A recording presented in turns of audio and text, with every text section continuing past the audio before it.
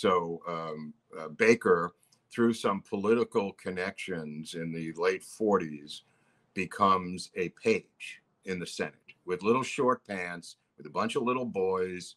He's like 13, 14 years of age. He's little Bobby Baker, and he uh, becomes one of the pages. You know, Wow. yeah, he is a what he refers to as a child of the Senate.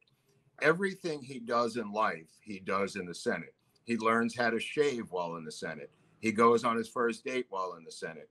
He he, you know, graduates high school while in the Senate. I, I, every single thing he grows up in the United States Senate and Wow. becomes the most powerful man in the Senate, referred to by many as the 101st senator.